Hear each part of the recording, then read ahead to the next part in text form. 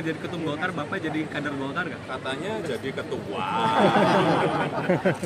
Katanya jadi dewan pembina. Bener nggak Pak? Pak, Pak, Pak, Bapak kenapa sih Bapak sekarang bentuknya kebanyakan sama PNS Pak? Bukan sama wartawan Pak?